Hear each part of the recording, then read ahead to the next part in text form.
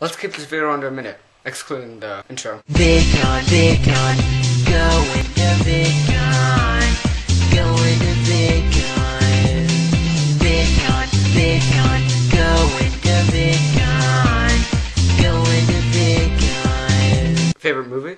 This one or this one? Favorite TV show? Modern Family. Favorite YouTube video? This one. Favorite channel? Pogo Bat. Favorite time of the day? 137. Because if you convert to military time or time in Europe, it, it turns out to this. Favorite superhero? The Dark Knight, of course. Favorite Disney princess? Jasmine, because she's the hottest. Favorite book? This one. Favorite video game? Portal, even though I've never played it. Favorite explosion?